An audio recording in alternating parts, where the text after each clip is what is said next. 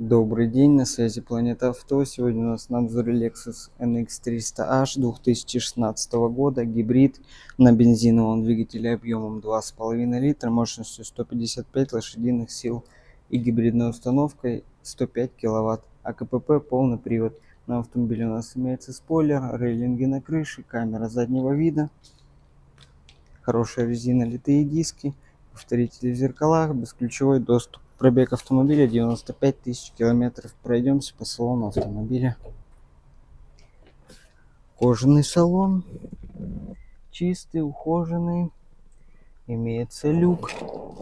Мультимедиа, двузонный климат-контроль, кондиционер, подогрев боковых зеркал, подогрев и вентиляция передних сидений, автохолд, экоспорт режимы, система курсовой устойчивости, электроручник, мультируль, круиз-контроль, парктроники, система мониторинга слепых зон, электропривод багажника, подогрев руля, электропривод передних сидений с памятью на три персоны для водительского сидения, электрорегулировка зеркал, 4 стеклоподъемника. Пройдемся по ЛКП.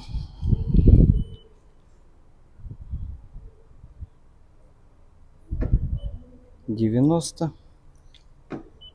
101 93 90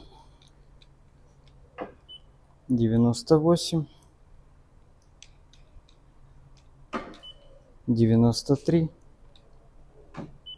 106 106